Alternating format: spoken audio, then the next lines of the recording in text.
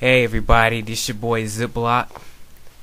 Um, I just figured I'd do this one in the uh, voice. I just got this new um, voice recording microphone, and I figured I'd give it a test out.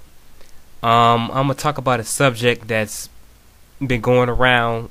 I've been hearing it on the radio station, and I just want to talk about it and get my subscribers and my friends to um give me their thoughts on this subject. It's money versus education. Now, when you get out of high school, you know, you got to either go to college, get a job, or do both, like I'm about to do, and like I've been doing, I should say. And, you know, you just got to make a choice. Now, a person on a radio station, they asked a question if you were given a million dollars, would you take that, or would you go to college? Now, with me, it's you know, right now I'm gonna have to say the money, you know, because you know, people, teachers today, they really aren't into it, you know, they just in it for the money themselves, you know, they just like you know, these kids, the kids really don't matter to them.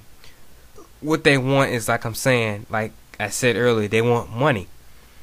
And the reason I would choose money is because, you know, it's a good life experience because you can always go back to college and stuff like that and, and, and you know possibly open up your own business if you become like a rich millionaire or something like that and keep the cash flowing in. But there are some out there of course and maybe some of you will uh, choose education.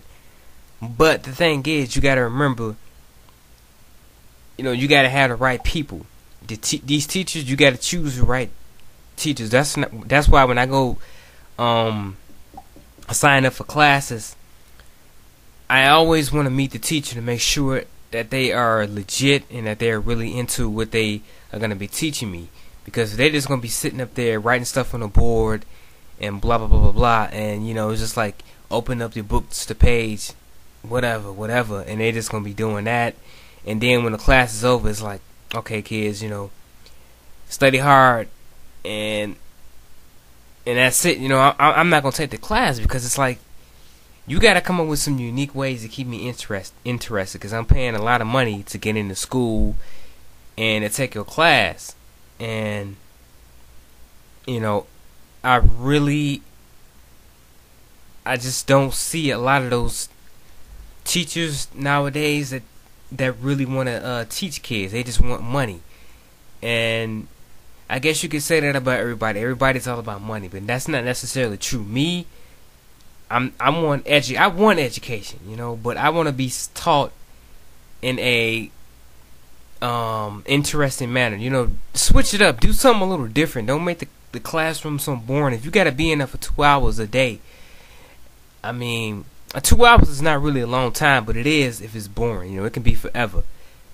You know, if you see a movie that's a two hour long movie you don't enjoy it, man, it seems like forever. And the same with these classes, you know, these college classes. It's like, man, if I'm gonna take a college class, and if it's not interesting to me, I'm gonna drop it. That's my view on it, and I go ahead and take that money elsewhere. And that's just my view on it. You guys can give me a comment below. Tell me what y'all think about this um, education versus money. Give me y'all thoughts on that, and y'all take it easy. This your boy Ziploc.